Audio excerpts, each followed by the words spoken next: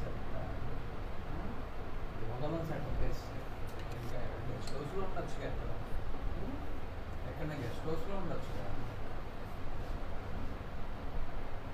ఇంకా గొడవలు వేసుకునే కర్మ